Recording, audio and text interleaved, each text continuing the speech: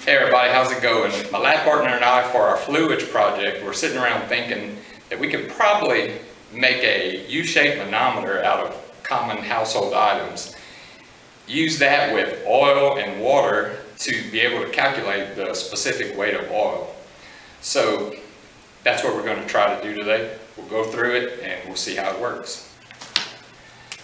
Our theory was that if we took basic household items and, and made a manometer that contained water and oil by adding water first and oil to the right side, uh, we would end up basically with a situation like this where the majority is filled with water and then there's oil on the right side. The dashed line between 2 and 4 is, is a horizontal line and that's significant because horizontally the, the pressure doesn't vary because of the hydrostatic equation. The pressure at 2 should be equal to the pressure at 4. So between 3 and 4 we figure we can calculate the pressure at 4 with the hydrostatic equation by doing the pressure at 3 plus the gamma of the oil and Z3 is equal to pressure at 4 plus gamma of the oil Z4. Now there are some things that can be canceled out here because the pressure at 3 is 0. Z4 is at our dash line which we set as our, as our datum, so that's 0, so that cancels out. It ends up with pressure at 4 being equal to the gamma oil and Z3.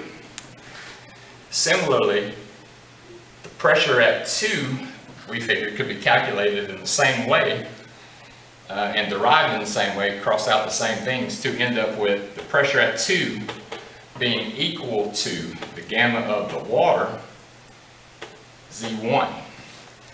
And as I stated before, our theory is that pressure at 4 and the pressure at 2 are equal. So because of that, we could set them equal to each other, which would give us the gamma of the water, Z1, is equal to gamma the oil Z3.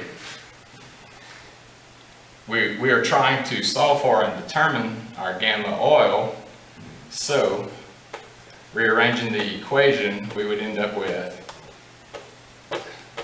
gamma the water times Z1 divided by Z3. All right, everybody, here's our homemade manometer setup.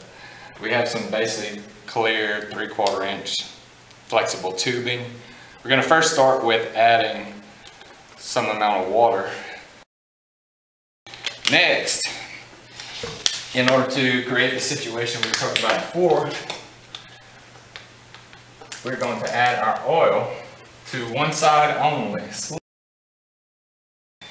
Now we have our setup in our manometer. Our next step is to mark a horizontal line from this oil water line to across to the other side because that's where the pressures will be equal. We have marks on our manometer um, at the same elevation. So now we will take measurements from these marks to the top of the liquid surface. All right, we took our measurements and